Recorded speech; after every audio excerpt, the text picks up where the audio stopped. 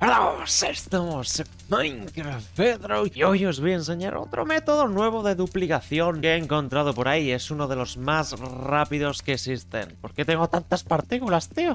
Hay un beacon por aquí molestando, lo voy a quitar. Este método es un tanto especial porque comparado con el anterior es muchísimo más rápido y funciona en Bedrock en todas las versiones actuales. Literalmente tardáis un segundo en duplicar cualquier ítem que queráis. Es una locura este método. Lo único que vamos a necesitar es un beacon y el ítem que queremos duplicar, en este caso un diamante. Pero antes vamos a hacer un paso previo para que este truco funcione en Windows 10, ya que este truco solo funcionará si tienes la interfaz de móvil, pero eso es muy sencillo. Para hacer este truco en Windows 10 tenemos que irnos a Settings, a las opciones del juego, a Vídeo y tenemos que irnos hacia abajo, donde pone UI Profile, que esto es básicamente el perfil de la HUD, del HUD, es la interfaz del juego, tenemos que clicar y poner Pocket, es decir, la versión de móvil. Una vez hecho esto, podemos coger un ítem y abrir el beacon. Y ahora tan solo tendríamos que clicar todo el rato en este ítem y se duplicaría, pero hay un paso muy importante, ya que si yo hago clic aquí no va a funcionar. Para que esto funcione en Windows 10 necesitáis utilizar cualquier dispositivo táctil. Si no tenéis un dispositivo táctil no podréis hacer este truco en Windows 10, pero hay una forma de hacerlo sin este dispositivo, y es pasando el mundo de Windows 10 a vuestro